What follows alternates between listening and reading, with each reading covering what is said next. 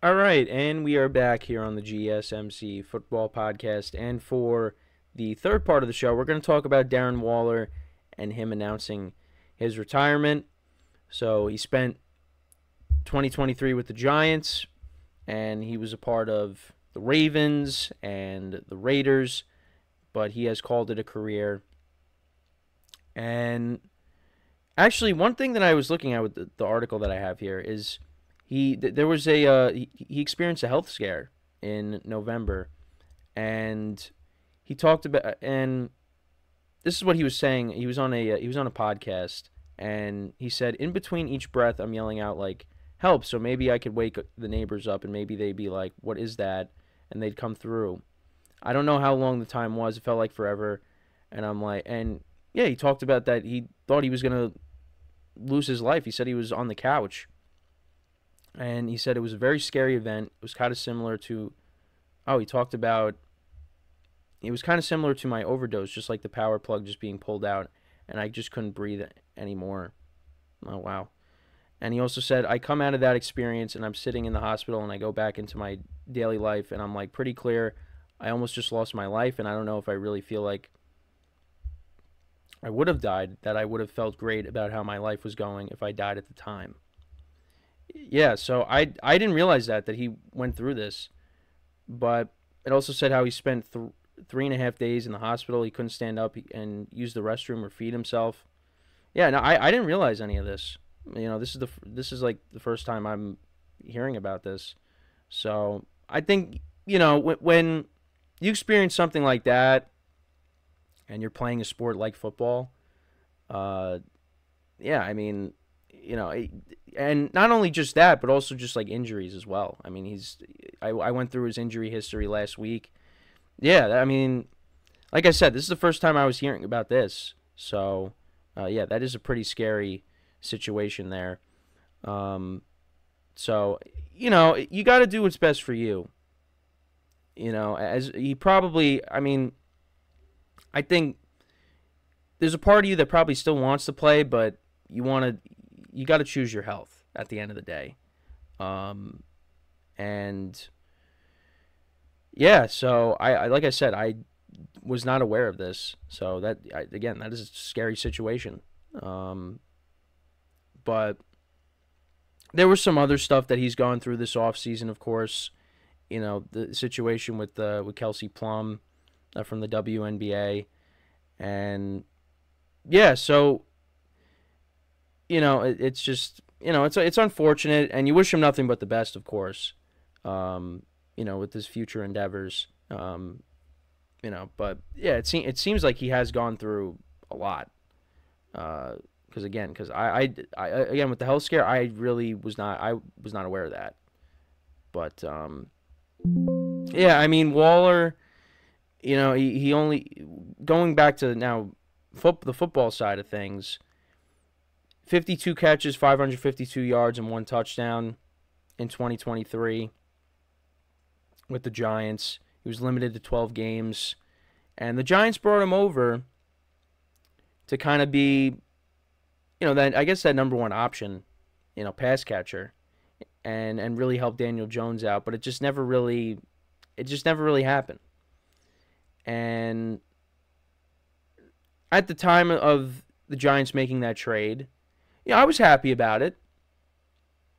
I thought that he could definitely help the offense, help Daniel Jones. But there was also that part of myself and my friends as well where we thought, yeah, this is good, but it's only a matter of time before he gets hurt. And that's exactly what happened. And now the Giants got to, you know, that's why they went out and they drafted a tight end. They they signed a couple of guys. I mean, not guys that are notable names, uh, Jack Stoll and Chris Manhertz. They drafted, yeah, they drafted a tight end in the fourth round, uh, Theo Johnson. But you also you got Daniel Bellinger there, you got Lawrence Cager. But yeah, I mean, there's no. I mean, Bellinger, I thought could be a good player, you know, before they got Waller. So maybe you know he could take the next step. Or and Lawrence Cager made some plays for them when they made the playoffs. So I don't know. Maybe we maybe they get production out of that position. They surprise us, but yeah, you just were kind of hoping that Waller was going to be that player, and that's just not, and that just wasn't the case. but um, yeah, it, it's uh, it, it's unfortunate. So Waller, he finished his career with 350 er, 350 career receptions, uh, 4124 receiving yards, 20 touchdowns, and a Pro Bowl selection in 2020. And you know, like I said, wish him nothing but the best in his retirement. Um, it just it just didn't work out with the Giants, and he was a productive player with the Raiders for a couple years. Um, I saw a video of him catching his first career touchdown pass, and that was back when he was with the Ravens, and uh, that was when Joe Flacco was playing quarterback for the Ravens. So, um, yeah, I, I, mean, at one point he was. I, I, said this last week. He was up there with, um, with Travis Kelce and George Kittle, as like the top one of the top tight ends in the league. He was really that good. And when he came over from the Raiders to the Giants, you know, I was saying to, you know, my mom that, that you know, this is going to be one of the best tight ends the Giants have had in years. But it, again, it just did not, it did not work out that way. Um, and, and you know what? It happens.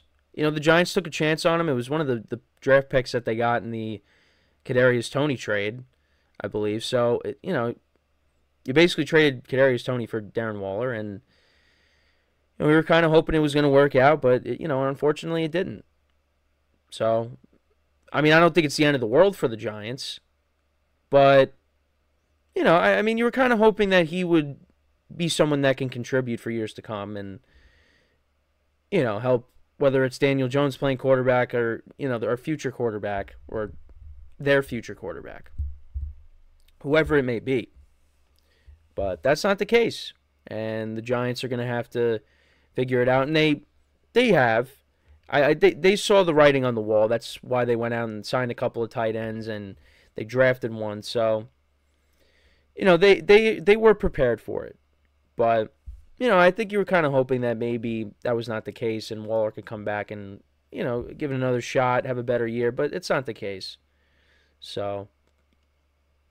But like I said, I, I wish him nothing but the best. And again, I was not aware of you know his health scares that he had, and you know it's it's scary. It, it, it definitely is, and and you know thankfully, you know he's okay because he was able to you know talk about it. But yeah, I you had no you had no idea. That's some of the stuff that happens behind the scenes that you're just not aware of. So and like I said, you know when you experience that and you play you know you have the career that you have playing in a game like football yeah it's you know, you, you don't want something to happen on the field. Definitely don't. So, um, you know, and like I said, he's going he's going through some other stuffs as well, other stuff as well with the, the divorce. So, yeah, um, like I said, wish him nothing but the best. Um, you know, I wish it would have. I wish things would have worked out better.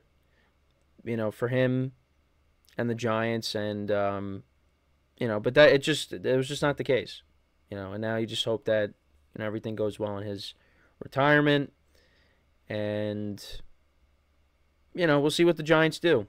Now, I mean, they had contingency plans for this, and I don't expect really any of the time. I mean, maybe I mean Daniel Bellinger. I think right now you got to look at him as the tight end one, in my opinion, but who knows? Um, we'll have to wait and see. But that's really all I have to say on the Darren Waller stuff. Uh, again, you know, he was one of the best tight ends in the league at one point. You know, in the in the later part of the 2010s and the you know the 2020s now. But um, yeah, that's it. He is called a called called it a career, and like I said, like I've been saying constantly, wish him nothing but the best in his retirement.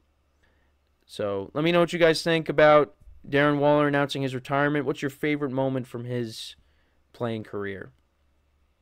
So, with that being said, we're going to take our third break of the show. And then when we come back, we'll talk about the Green Bay Packers. We'll comment on their um, wide receiver situation. Well, Jordan Love's comments on the wide receiver situation and why the Packers don't necessarily have to have a number one wide receiver in Jordan Love's eyes. So, we'll take our break and then we will be right back. So, stick around and we will be right back here on the GSMC Football Podcast.